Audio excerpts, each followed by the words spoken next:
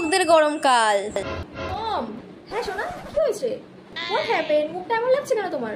তোমাকে শরীর টরীর খারাপ করেছে? মম, এই গরমে আমার কিচ্ছু ভালো লাগছে না। তারপরে আমার ঘরে দুটো এসির মধ্যে একটা এসি খারাপ হয়ে গেছে। ও মাই গড এই গরমে তোমার ঘরে এসিটা খারাপ হয়ে গেছে?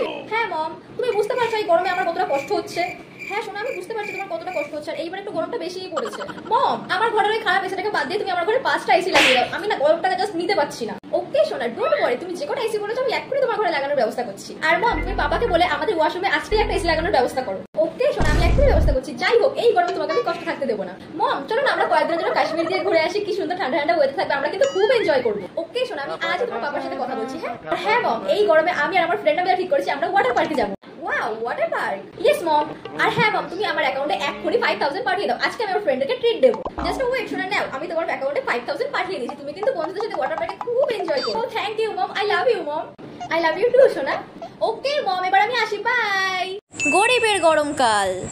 এইবার একটু গরমটা বেশিই পড়েছে, এই গরমটা আর সহ্য করা যাচ্ছে না, কি যে গরম পড়েছে। কিন্তু কাজেও তো যেতে হবে।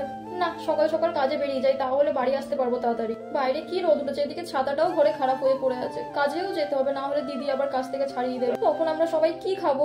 না, যাই, তাড়াতাড়ি বেরিয়ে পড়ি। মা, ও মা, কি হয়েছিল এটা এটা কিছু বলবি? ও মা, সেই কবে থেকে তো আমাদের সিজন পাখাটা খারাপ হয়ে পড়ে আছে? সকালবেলা ঘুম থেকে উঠে থেকে এই পাখাটাও খারাপ হয়ে গেছে। এবার আমি কি দিয়ে হাওয়া খাব? খুব গরম লাগছে, মা। টেপি মা, তুই একদম চিন্তা করিস না, এই গরমে তোকে আমি কিছুতেই কষ্ট করতে দেবো না, আমি আজকেই সন্ধ্যেবেলা গিয়ে পাখাটা ঠিক করে আনব। ও মা, তুমি একটা নতুন পাখা কিনে নিয়ে আসো আমার বান্ধবীদের বাড়িতে এই বড় বড় পাখা আছে, আর কি ভালো, কি সুন্দর হাওয়া হয় তুমি একটা ওই পাখা কিনে নিয়ে আসো না। টেপিমা নতুন পাখা কিনবো, টাকা কইলে আমি বরং আজকেই তোকে ওই পাখাটা ঠিক করে দেবো। আচ্ছা আমার ঠিক আছে, তুমি এই পাখাটাই আমাকে সারিয়ে দিই, এই পাখাটাতে খুব ভালো হাওয়া হয়। কয়দিন তুই একটুখানি মানিয়ে নে, দেখ কয়দিন পরেই তোকে আমি নতুন একটা পাখা কিনে দেবো। ও মা পাখাটা তো খারাপ হয়ে গেছে, আমি আর হাওয়াও খেতে পারব না, আমার তো খুব গরম লাগছে, যাই, আমি একটু গিয়ে স্নান করে আসি। আরে টেপিমা, তুই এখন স্নান করিস না, সেই কত দূরে একটা রাস্তার কল থেকে তোর বাবা এক বালতি জল এনে যার সেটা তো আমারই রান্নার কাজে লেগে যাবে, তুই এখন স্নান করিস না। যখন জল আসবে তখন স্নান করে নিস, তুই যা রান্না করে তোর জন্য আমি পান্তা ভাত রেখে এসেছি, তুই গিয়ে পান্তা ভাতটা খেলে তোর আর একদম গরম লাগবে না, শরীরটা দেখবি পুরো ঠান্ডা ঠান্ডা হয়ে গেছে। কিন্তু মা, পান্তা ভাত কি দিয়ে খাব কিছুই তো নেই, কালকে রাতে তরকারিটাও শেষ হয়ে গেছে। সে কি রে, পান্তা ভাত তো পেঁয়াজ আর লঙ্কা দিয়েই খায়? আচ্ছা মা, ঠিক আছে। গরম আর কয়দিন রে কয়দিন পরেই দেখবি বর্ষাকাল চলে আসবে, তখন দেখবি সব ঠিক হয়ে যাবে।